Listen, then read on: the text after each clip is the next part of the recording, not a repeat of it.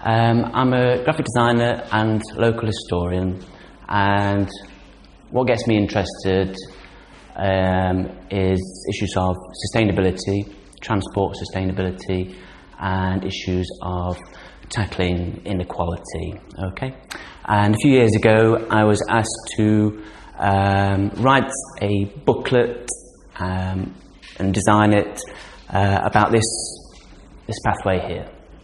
Uh, it's the River Leen Greenway. It's a car-free pedestrian and cycle route between Bulwell and Basford. Um, and here's the here's the River Leen uh, here. Okay, more about that as, as, as we go go on. Um, that's the River Leen in 1947. Really bad floods. Um, it'd been really dreadfully cold winter, and when it thawed, you had these fantastic floods.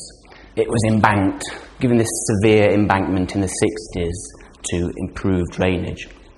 Uh, so that's why that appears that way. Um, there's a few sort of links with what we're talking about, or connections, if you like, uh, with, with the exhibition and what other people have been talking about. Um, one is the geology, magnesium limestone, that connects with Cresswell Crags, and the other is, of course, uh, cycling. Uh, this is the plan uh, that the council have done, or the, trans- the um, some of the transport team there, um, a few years ago, and it's called Access and Biodiversity Study. And basically, the idea is here's the Leen, it goes from uh, north to south through the city, um, about six, six miles long within the city, 14 miles long in total. And the idea is to join up lots of different footpaths and cycle paths and have this, this cycle route. Okay?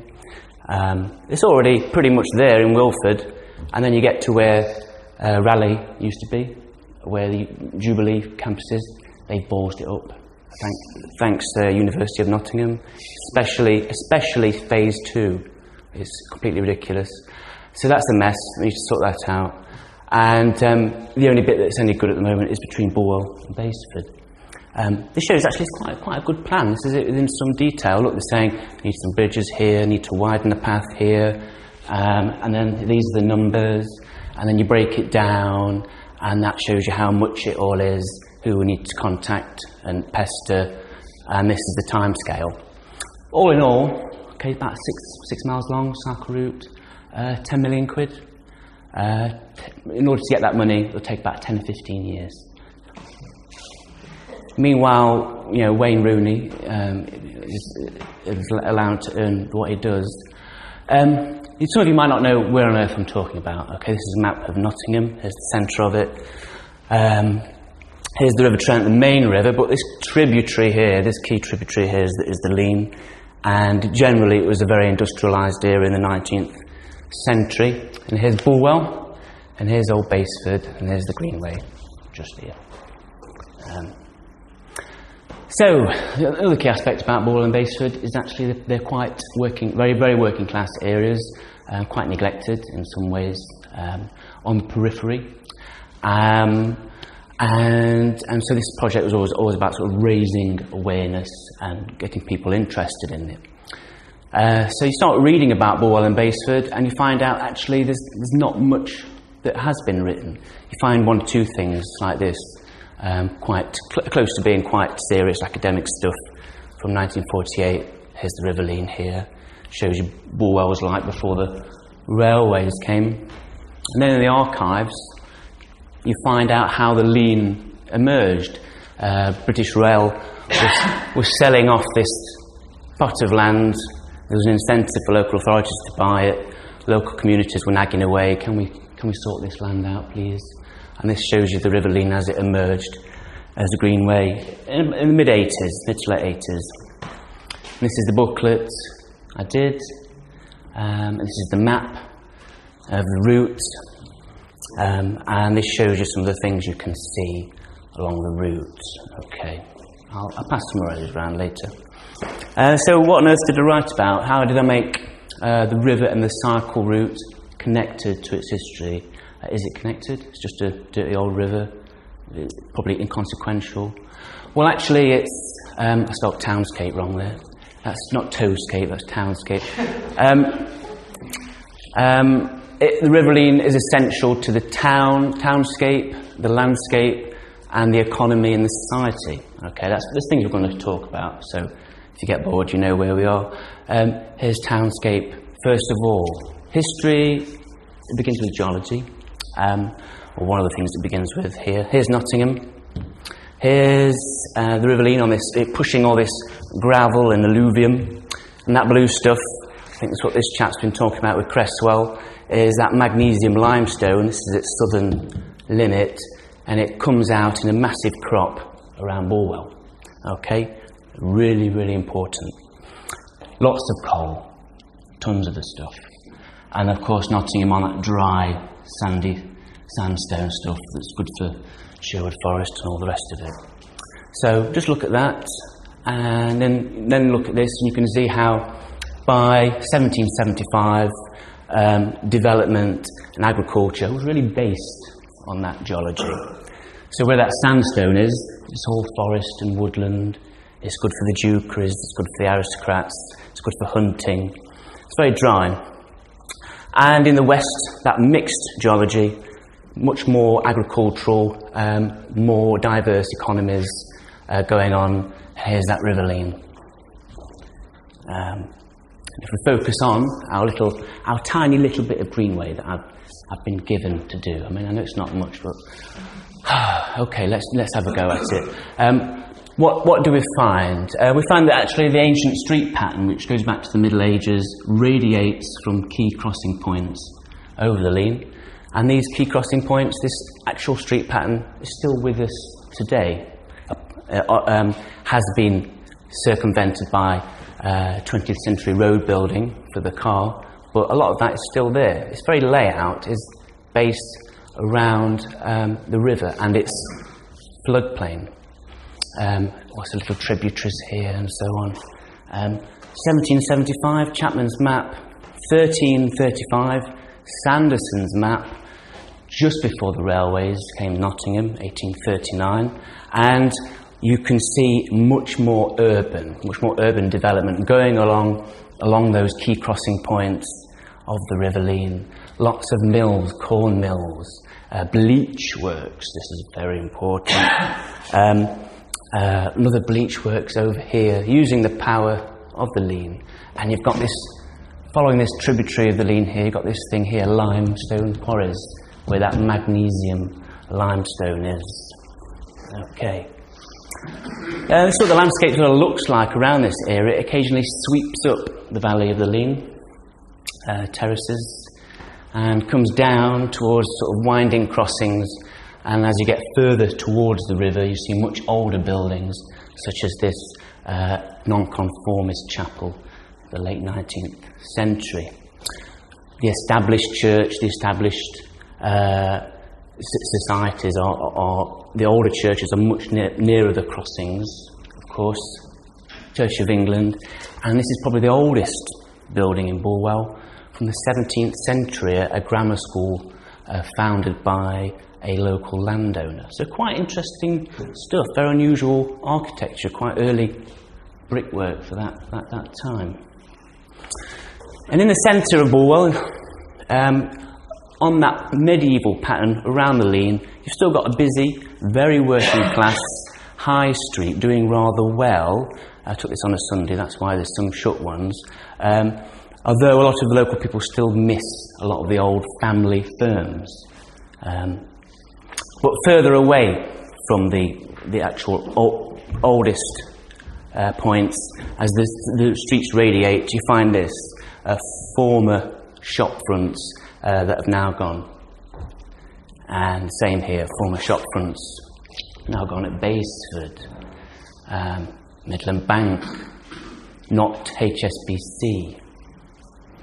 Um, and one of the reasons why all this, this changed um, was because of what happened to Bulwell in the 60s and 70s. It was changed for new council house building and for new road building all these former terraces and working class communities completely remodelled.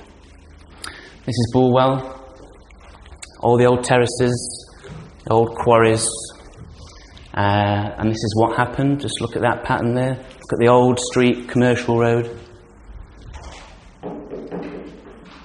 That's all that remained of it. Uh, what happened was uh, new estates were built around a Radburn system of planning. Big grass verges, big green space, um, cul-de-sacs, um, and the idea was, 60s and 70s, everyone was very scared about the rate of car growth and panicked. And so what they decided to do uh, was completely separate pedestrians uh, from uh, traffic. So that's why we had this Radburn plan. You can see a Radburn estate here as well, huge grass verges. And had another effect within Bulwell, of course. Um, as these estates were being built, let's build a bypass through Bulwell. Um, these are the estates being expanded upon. And this is the old medieval street being cut across by a, a huge road in the early 80s. So road building really changed things. Also, um, it happened in Old Basford as well. Old Basford Flats uh, didn't last probably more than 10 years uh, because um, it was very poorly uh, built in terms of its construction, not necessarily in, its idea. Um, all the terraces, all the old streets gone, and this is what happened. So, this, the townscape of Bulwell and Basford really changed in the late 20th century. A lot of the old connections have gone. A lot of mistakes have been made. What about the economy of Bulwell and Basford? This isn't Bulwell and Basford. These are in Nottingham. You'll see this sort of thing absolutely everywhere. And they're built of this stuff. It's that Bulwell stone. And this is where it's quarried, remember? This is where it all comes from. And its whole thing is, is throughout Nottingham. It's such an important thing, and yet nobody's written anything about it really. Uh, these are the quarries here. There's a Radburn uh, style council house. And this shows you some of the aesthetics of this limestone quarry area as it used to be, this bridge from 1835. Um, and you get this sort of thing Methodist chapel, early 19th century, old cottages. Actually, it's quite distinctive. Um, old workshops, another old workshop. Um, really had quite a distinctive style of its own. Um, an old forge, no, old mill that was. Um, and, and what, not only was the key, one of the key um, sides of its economy uh, regarding this stone, but also the mills, was, uh, was also the bleach mills and corn mills. And this is uh, based around that, that uh, Leenside area. Um, ble- a bleaching, you have textiles and hosiery within Nottingham, and when you sell it, you don't want it to be uh, pale yellow or dirty, you want it perfect white. And so you have to use chloride of lime uh, to make it perfect white, and then you leave it out in the sun and let it dry, and then that's, that's what it was. Um, so you had all these small scale manufacturers in the early 19th century, um, in all those little workshops, and all this changed uh, in 1849 when the railway came. This is the Midland Railway. And you can see how the railways utilised the landscape of the Leen, and generally they were stretching west for those coalfields that we saw um, earlier on. Um, most of those um, railways have gone since the uh, rationalisation of the railways during the Beeching Axe. And um, what you have these strange embankments, like a lost civilization, There's, you know, little mounds that seem to poke up for no reason. And they were stretching, they were stretching west and north for, like I say, for the coal. coal. This is a really good photograph from Bestwood, one of the big pits of the area. Um, the railways did change a lot, and this is what they did to those small scale bleach works and manufacturers. They turned them into factories. Um, this is uh, Pearson and, and Brothers uh, bleachers and lace finishers, I think from about 1870. And then you can see the River Leen just here. And you can see how brutal it is to the river. Here's the river going up like that. Um, in the late 19th century, there was a complete expansion within its economic capabilities. A really strong brewery was built uh, 1900, again utilising uh, local waters. Um, hosiery, the manufacture of textiles through circular knitting machines, was a key aspect of, of the Leen from the early 19th century. And even by 1950, you have this really strong, convincing hosiery fact works built. Um, family firm, still going, still makes circular bandages uh, for the NHS and for boots. And upstairs, they've still got the old machines from the mid and early 19th century when it was uh, small scale workshops. Um, and of course, most of this is gone, um, apart from one or two examples, and we have huge problems of un- uh, unemployment, uh, which is probably the real cause of sort of the low income in, within the area. So those are the, uh, the final thing we'll talk about is the society um, and how that's changed, and it's really quite revealing. Um, 19th century, in a nutshell, it's a tale of two halves.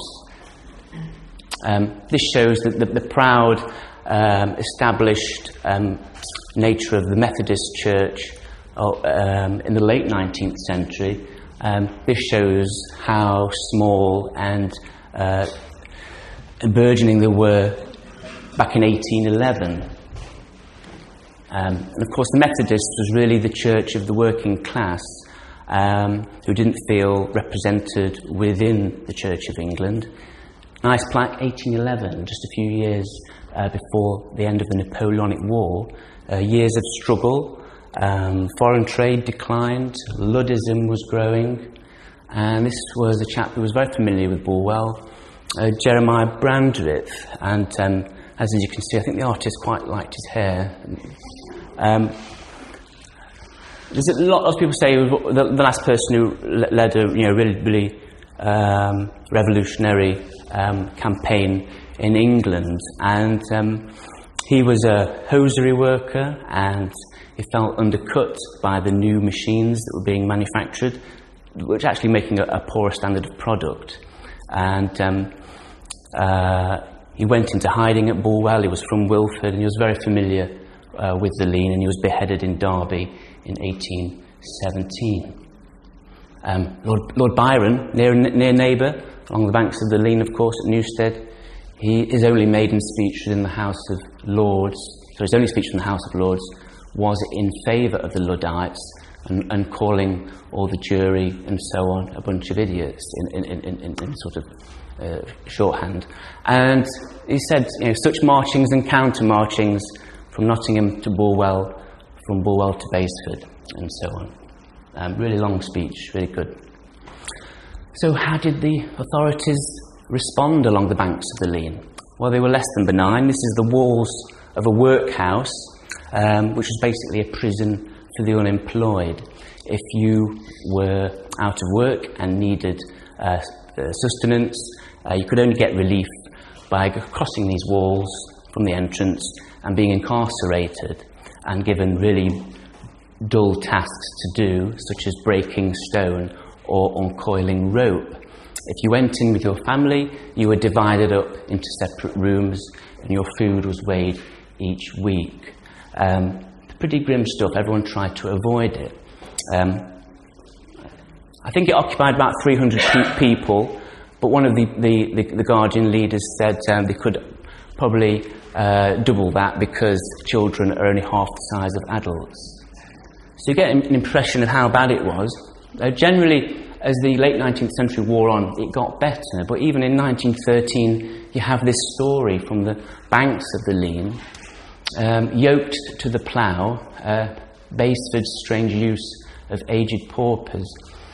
Considerable indignation has been aroused over allegations that old and decrepit inmates of a workhouse have been yoked to, to a plough in land belonging to the Guardians. Uh, the statements are being confirmed by several residents of Highbury Avenue, uh, who overlooks the workhouse grounds. And it goes on to describe a Midland Railway driver who, on that railway we saw earlier, also saw that taking place. Um, so, if I had a time machine, I went back to the early 19th century. I'd want to get back home pretty quickly. Um, it's pretty grim stuff. Um, but by the time that this becomes an official public recreation park, things start getting better. This is Bulwell Bogs. This gets really busy. All the kids playing here get the socks wet, and all the mums watch, etc. Um, you think, oh, it's just a, a small little park, it probably doesn't mean anything. But actually, this, is, this box was a series of a massive uh, political campaign in the 1870s.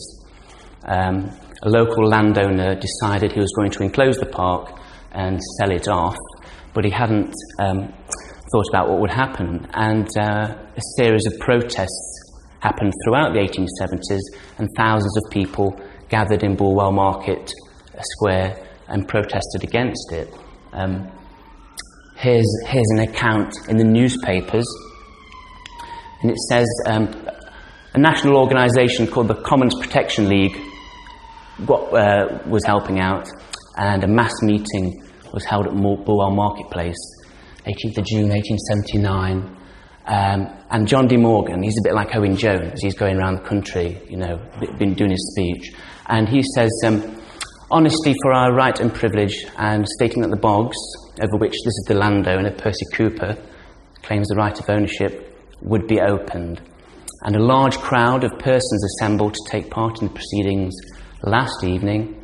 The bill announced the lecture would commence at seven o'clock, and when the lecturer appeared on a platform, a farmer's wagon, you know, it's almost like a western, isn't it? You know, it's same era, and there were four and five thousand people present, many of whom were women and girls. And it goes on to say that uh, John said, "Right, we're going to break into the bogs, we're going to cut the fence, and we're all going to go in there, but don't wreck the flowers because if you do, we'll, t- we'll tell the authorities." That's what they said. And then after that, it, it rained. It really chucked it down, and that's how the story ends. So they broke into the bogs. This is John De Morgan. This is what he was doing, going around the country, uh, campaigning for the protection of common land and public parks. But a lot of the legal proceedings were tied up um, by the Corporation of Nottingham, the City Council, who enclosed Bulwell in 1877 and sorted out this problem. And this bridge dates from this period when things start to get better 1880. And generally, it's the start of municipalisation, a great theme uh, across Western Europe and Britain. Uh, municipalisation of gas, municipalisation of water, um, uh, trams, public parks happening throughout Britain and Europe, and this is Burnham Park, uh, bought by the council in 1901. And as things get better, this is an account from Robert Mellors. He said Bulwell is now prosperous. Uh, a, a, gradual, continuous improvement of the past 50 years has taken place in the condition of the working class. Peace has largely prevailed, commerce enormously extended. And we can think about those municipal improvements and also that economy that was getting stronger. Uh, one, one of the good uh, examples of that is the former library from the 1920s uh, the road, Highbury Road, uh, that was formerly a tram route, and of course uh, Basford uh, Library as well, that period where uh, miners um, and local people were campaigning to the council to provide them with these services, which they did. It's also, the River Leen Greenway is a chance for design working uh, with the local authority to try and improve things and try and learn from the mistakes of uh, our road building past and, and um, do, do things like uh, greenways, cycle routes and footpaths, which are really important. Thank you very much.